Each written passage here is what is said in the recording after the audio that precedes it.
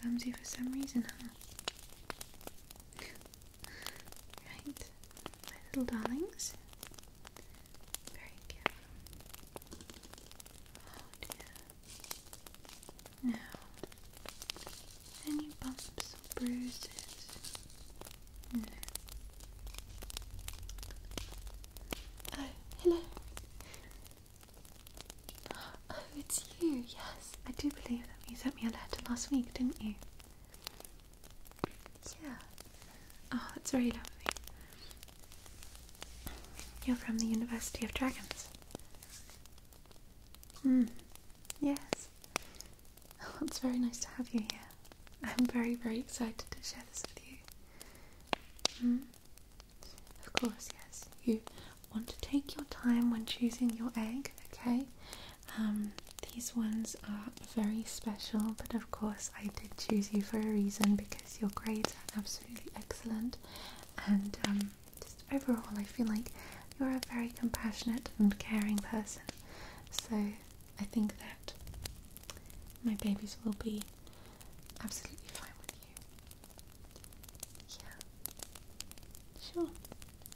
Um, well, before I show you the eggs, I just wanted to say that um, you do want to make sure that they are always content, okay? Um, some of them require quite a lot of work. Oh, you have dragons at home already? Okay. Oh, it's adorable, isn't it? I know. I just, I love that dragon breed. I mean, I love all of them, of course, but that one's very dear to my heart. I had one in our garden as well when I was little. Yeah. He flew away at some point, but I think that was just because he was a teenager and he wanted to venture out and, yeah, he found the love of his life and then, obviously, yeah. I do visit him from time to time, yeah. He's still adorable. And the babies, oh my goodness. yes, your dragon egg, of course. Now, um,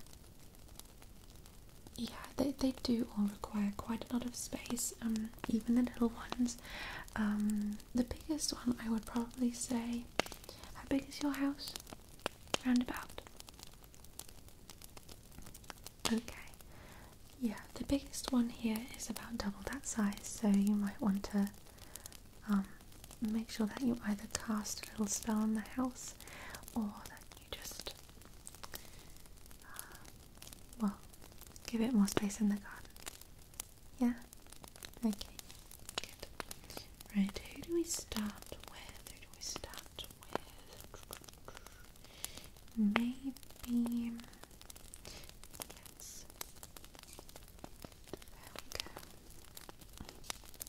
Now this one is very eager to hatch. You can sense it. It's like you can almost make out a faint little heartbeat. You want to hold it close to your ear very gently. Yeah. Just very, very quiet. Very quiet. Now, this is Clumsy Pepper Peter. That is the actual breed name, yes. It is said that they are very, very clumsy. Um, so when they wander around the forest, they tend to stumble across um, a lot of tree trunks that they might not see and that they fall over. So um, it is not really clear or discovered yet why they are so clumsy. If it maybe is due to the fact that they get blinded by the sun, or maybe, well, we don't really know. But bees are so incredibly endangered, unfortunately, because the hunters are always on the lookout for the sparkles that come out of their mouth when they sneeze. Yes, essentially, the inside of the dragon's mouth is plated with a layer of gold, silver, and a lot of other gemstones that are very, very popular amongst a lot of hunters. And um, due to the fact that this dragon is also very allergic to a lot of things, it sneezes a lot. So every time the dragon sneezes, there are some little glittery particles that will leave its nostrils or its mouth. So, unfortunately, it has a difficult time hiding due to this as well because, you know, it kind of leaves a little bit of a trail essentially. And, um, yes, of course, there are ways nowadays of um, collecting the um, sparkles in a different manner, but the hunters are just, well, cruel and lazy, so unfortunately, these sweet babies are often hunted down. So, we are trying to keep them safe, and that is why I have one of these here because its mother was kind enough to pass one on to me because she knew that I wanted to take care of it. Now, you being a very smart and well read person when it comes to dragons, I think this would be a very good pick for you. These are very, very sweet. Now, its scales are this beautiful red crimson colour. However, sometimes the shade of colour can vary depending on the dragon's mood. Okay, so if for example your dragon is upset or maybe feeling very hungry and just a little grumpy, then it could happen that the colour vanishes a little, becomes a little grey, has a bit of a grey sheen. So you always want to make sure that these babies are well fed and happy. Okay? They love to play games, they love to fly around. So, yes, yes, this dragon does have wings. Of course, we do also have dragons that don't have wings, or they have wings but they cannot fly. Mm-hmm. We also have amongst these little babies a water dragon. So you always to make sure that there is enough to keep your dragon happy on multiple levels, okay? It has long teeth, but it is actually a herbivore, so it doesn't eat meat. It loves bell peppers, tomatoes, carrots, anything that somewhat resembles this shade. So you could also feed it some red grapes or um, maybe as a treat some chili peppers, but not too often because their stomachs can't really handle the heat too well. Mm. No, this one does not spit fire, no, no. No, no, no. The only thing that does obviously come from the mouth is the sparkles. So, just want to be very careful with that. And when it does sneeze or when it does leave some glitter particles, um, I would make sure to just dust it away because the hunters can also sometimes smell it. So, I want to be very careful. Yeah. So, this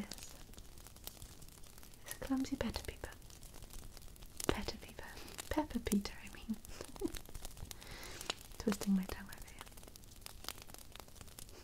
Pepper Peeper. So, what do you think? hmm? Yes, quite wonderful, I agree. Yeah, I know. I'll, I'll put this one to the side at first, okay?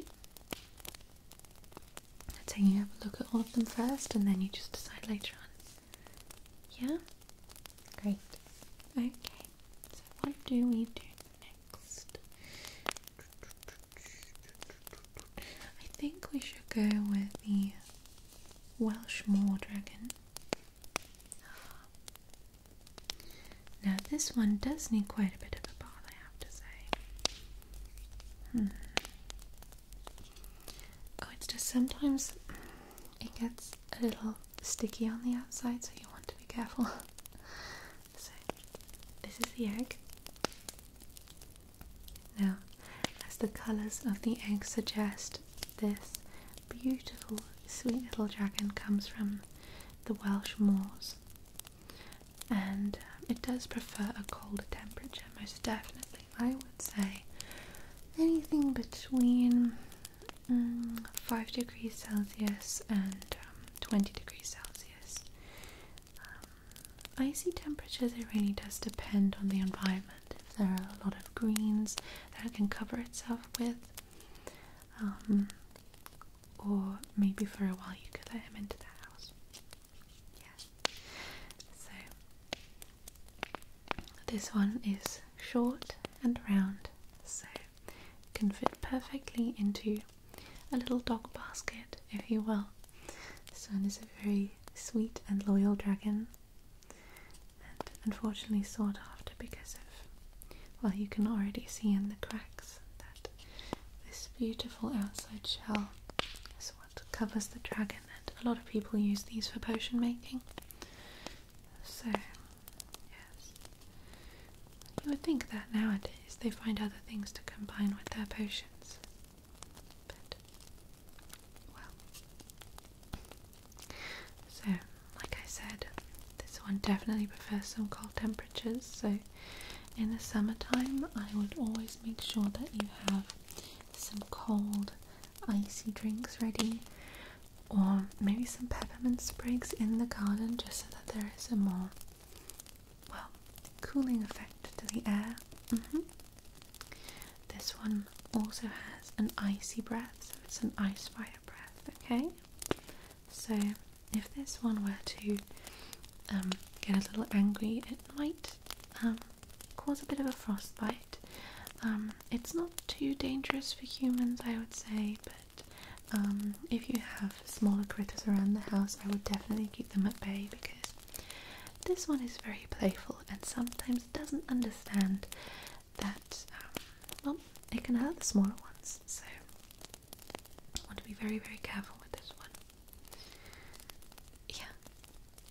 Well, this one isn't particularly moody, but it can get a little bit jealous at times, especially if there is another dragon in the house. Or, like I said, a different critter. Maybe if you have mice at home, some rats, maybe, or some cats, dogs.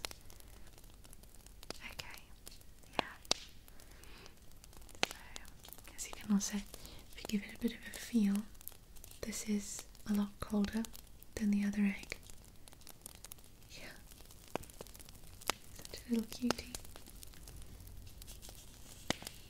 Now, like I said, the outer shell is covered by these beautiful green and turquoise shades, but the inside belly is a bit more of this shade, kind of like the moors themselves.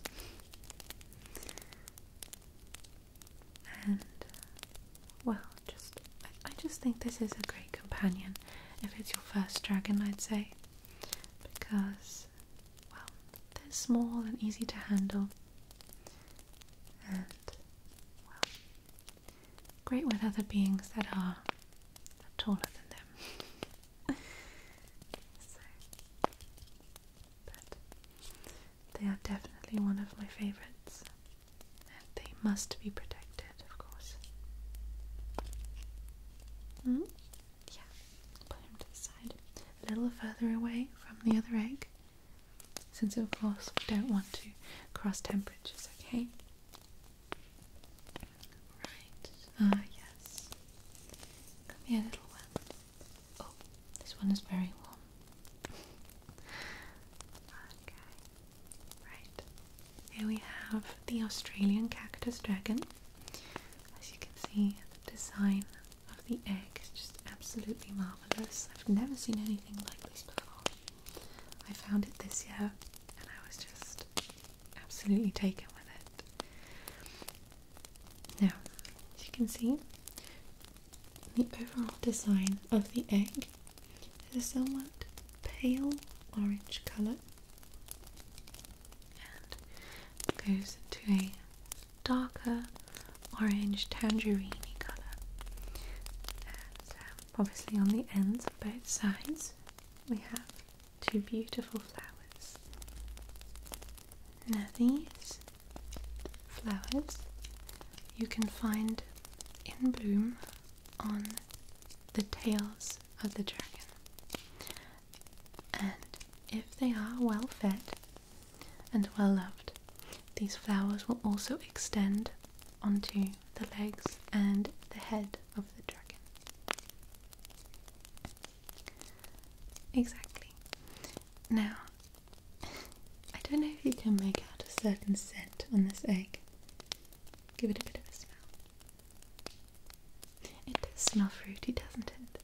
I was very surprised about that because these flowers are not edible to humans, but some other little bees and some other little insects like to um, collect the nectar coming from these flowers. Um, unfortunately, these are endangered as well due to the fact that hunters just collect the petals again for potion making, and it's just such a shame. Um, luckily, these are quite fast when it comes to flying, so um, sometimes they do manage to escape, but obviously, hunters are unfortunately also clever enough to know how to stop them. But I feel like as long as people like us are around, you know, it's it's giving them hope, you know. They can feel safe with us. Now, these little babies do need a warmer climate, okay? So they obviously enjoy the summertime and the springtime, um, but in the winter, I would definitely recommend that you keep them in your house close to a fire. Oh no, the flowers they won't be affected. No, they actually love the fire. It's almost like they get this this certain glow in the fire. It's very beautiful. And the little spores that come out, they really dance around the room and just light everything up. It's absolutely wonderful. So, so wonderful.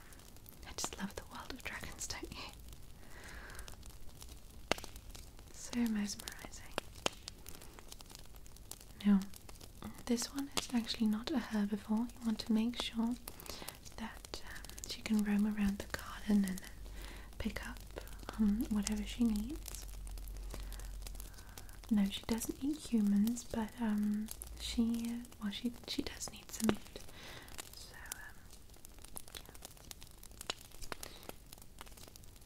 yeah. yeah, this one is also very warm.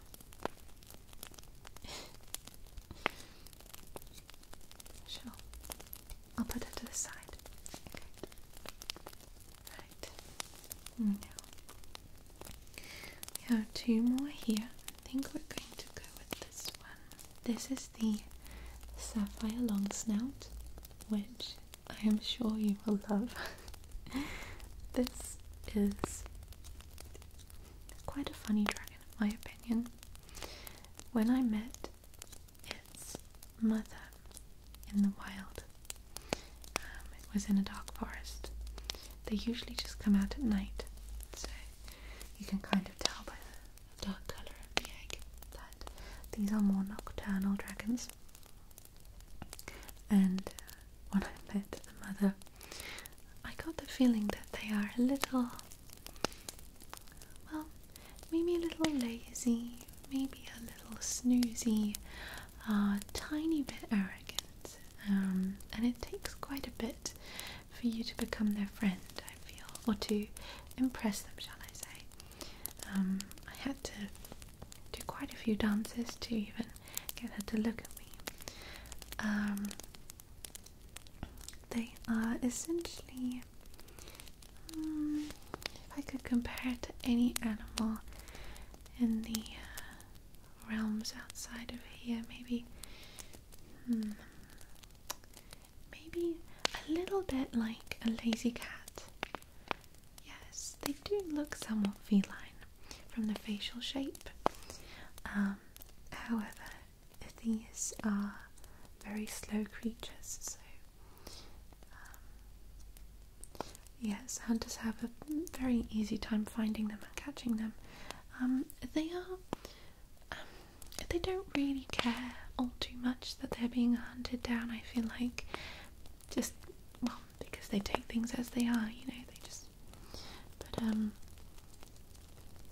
well the reason the hunters take them is because as you can see through the cracks here there are some beautiful gemstone pieces that um these grow on the belly of the dragons so they are actually very good at finding other treasures that the hunters uh, do admire um, that's another reason why they're called long snout because with their long snouts they can um, essentially smell treasure and lead the hunters to the treasures. Now, um, it we're fine if the hunters just kept them as pets, but unfortunately they're not treated very nicely. So,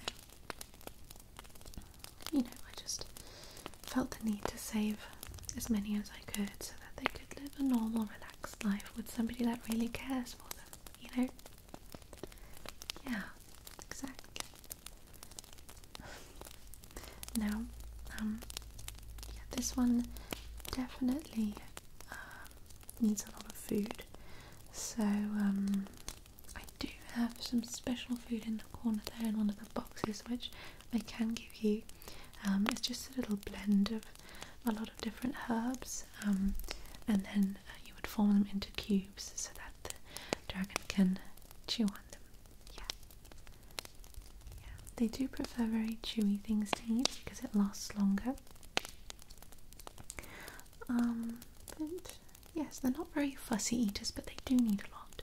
They do need a lot of food, otherwise they get very, very grumpy, and um, can be grumpy for days. So yes. Um, so like I said, these are very, very slow. So I would also say these would be suitable if you have maybe some family members that um, well aren't the fittest anymore. You know, maybe they're a bit older, or maybe they, you know, just have trouble walking for a long time. So I'd say this is the perfect companion. Just needs a lot of love and a lot of food. so yeah, I'll put them to the side. Okay, right. And now, now last, I'm just going to cover this one a little bit. Some of the unicorn hair, because this is rather hot. Okay, to burn yourself. I'm somewhat used to it because I touch these every day, so. Oh, goodness. Okay. Perfect. Now, this is the Colombian pinktail. And, uh, you can feel the heat from here, I know. These have hottest fire breath, so you want to be very, very careful when handling these ones. Now, this one comes from Colombia and was born inside of a volcano. Now, you always want to hold the egg surrounded by unicorn hair because it protects you from the heat and it also preserves the warmth in the egg. Okay, so this one is absolutely not allowed to get cold. You want to make sure that your house is always warm, and in summertime, only let them out when the sun is uh, shining with no clouds out. Okay,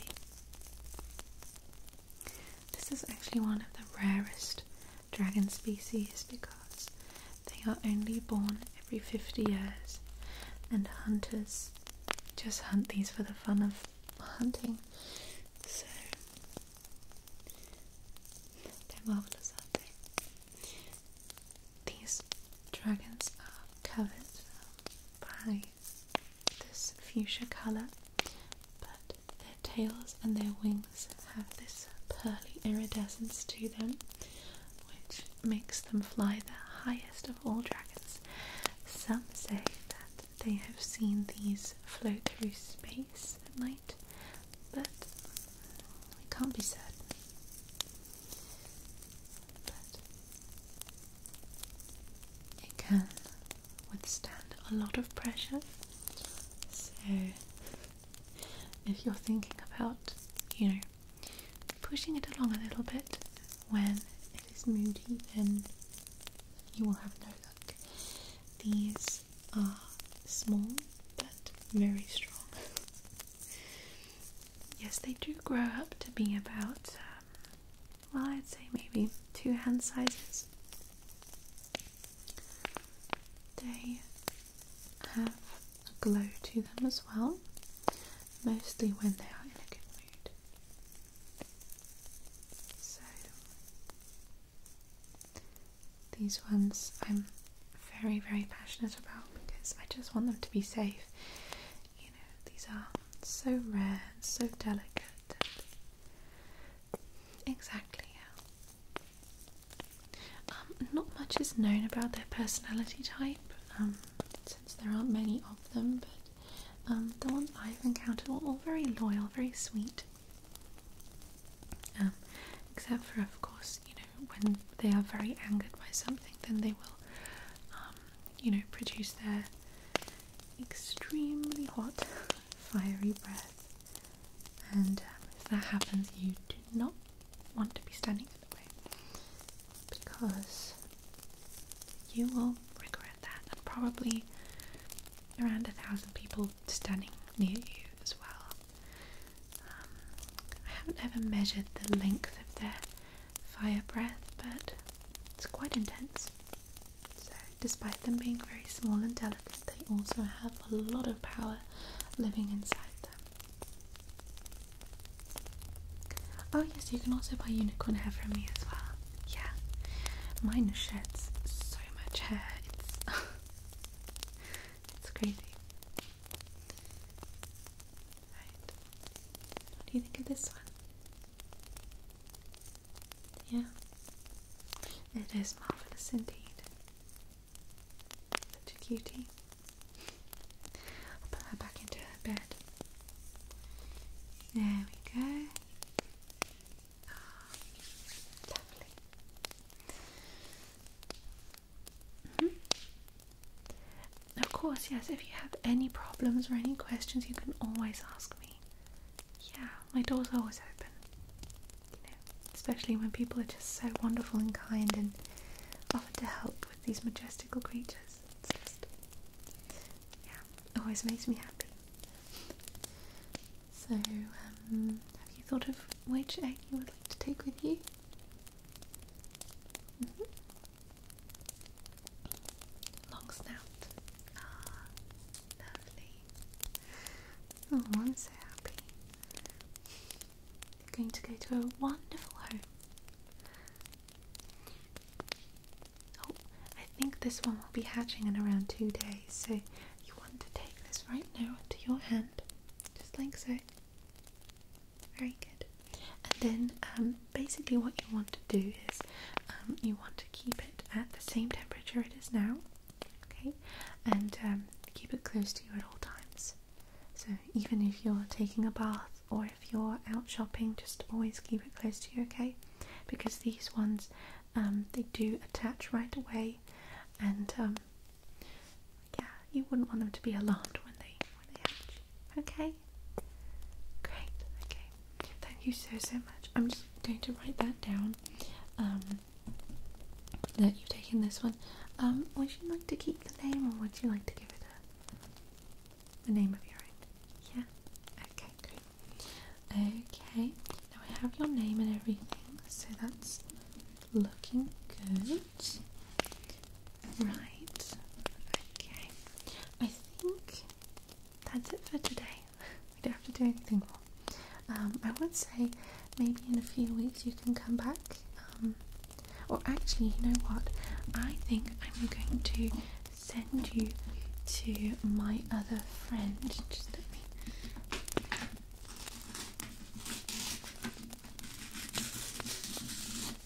go. Here's her contact. Um, I would like you to go to her just so that she can do some measuring of your dragon. Yeah. Yeah, she's an expert. Dragon expert. Yeah. I just like to look after the eggs because sometimes I, I think I'd feel like, you know, if there were dragons and eggs, I'd be completely overwhelmed. Yeah. So, anyway, you best be going just in case it hatches sooner. But um, I wish you a wonderful day, and again, thank you so so much for helping with this. And yeah, I wish you the best of luck and lots of fun. Okay? Thank you so much. So, I hope you have a wonderful day, and I'll see you again soon. Lovely.